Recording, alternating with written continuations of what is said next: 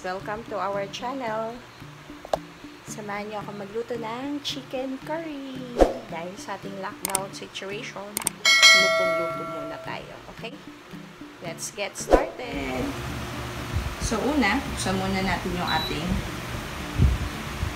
kalan. Dito tayo sa fry. Yung unahin natin ang mantika.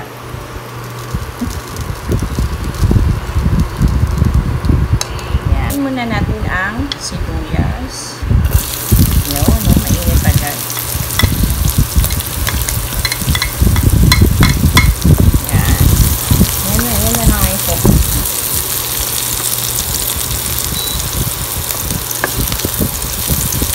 And then, sunod natin ang sunod natin. Okay. Yan. Tapos, sunod na natin ang ating chicken.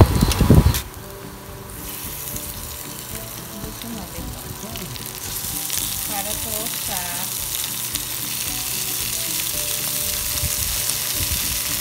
dalawang kainan, di ba?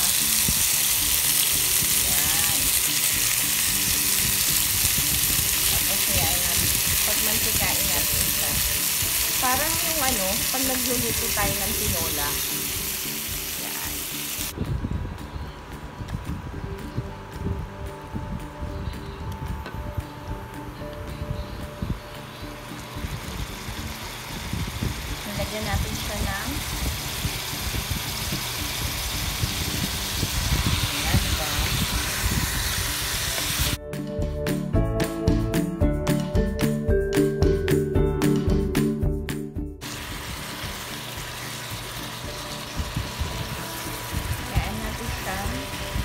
Magmantika sa sarili niyang mantika. Yan. Yan na natin ng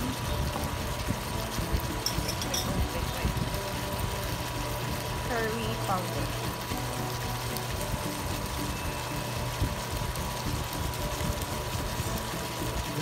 At dahil meron po lang din tayo ng ginger with a twist again. Sa luto ng tere, laging with a twist. So, lalagyan natin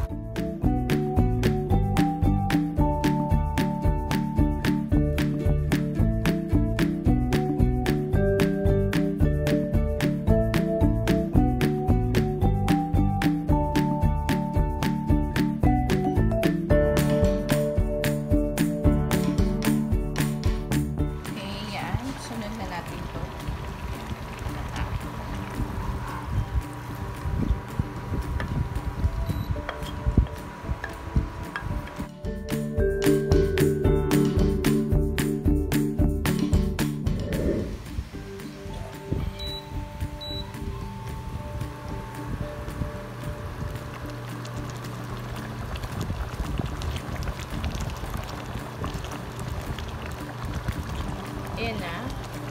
So, after ng minutes, creamy na siya. So, pwede na to. Pang dalawang meal na to. So, paboy lang natin and then okay na to. Yun na guys, tapos na tayo magluto. So, thank you so much for watching. And, yun, um, para sa dalawang, at pa siya, yan Although, nagbabay na ako. Gusto ko lang malaman nyo na ah, lagi sana tayo mag-iingat. Huwag pa rin natin kakalimutan ang ating SOP pagka lumalabas ang bahay, yung nag-iisang ah, member na lumalabas, always wash our hands, tapos mag-sanitize, mag-disinfect, and then pagka ano, ah, maligo na agad. So, yun. At ito, ang luto Bawal sa amin ngayon mag, mag magtapon ng ulam or magtira ng ulam. Kaya itong ulam na to is good for two meals na. So, ba? So, magtipid pa rin. At saka, yun. ah, let's be thankful and grateful sa ating mga mga blessings na nakukuha, nakukuha pa rin. So, yun lang. Bukas ulit sa susunod na recipe na luto ni Tere. Thank you for watching and if you like this video, please do give me a thumbs up and like and subscribe. Thank you so much. Again, be safe, stay home, be safe, and um, let's pray na maging okay lang ang, ang, ang kapaligiran at ang mundo natin. Okay, bye-bye. Bye. Thank you for watching. Bye-bye!